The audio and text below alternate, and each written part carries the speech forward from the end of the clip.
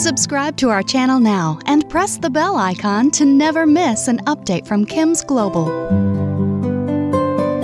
Hi, I am Dr. Praveen Muralidharan. I'm a consultant in the Department of Nephrology and Kidney Transplant at the Kerala Institute of Medical Sciences, uh, Trivandrum, Kerala.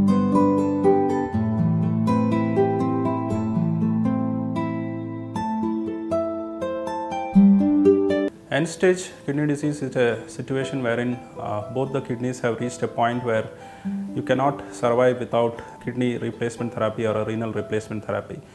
That means that the patient has to be on some form of artificial support for the kidneys, which is usually dialysis. Sometimes in end stage kidney disease, you can uh, get away with doing a kidney transplant, which is known as a preemptive transplant, where the patient uh, does not go for dialysis but undergoes a transplant even before the kidneys have failed completely. End stage kidney disease usually requires treatment with either hemodialysis or peritoneal dialysis. Either of these treatments can be used based on the situation where the patient is in, based on his discussion with his doctors as well as his preference for the type of treatment that he needs. Música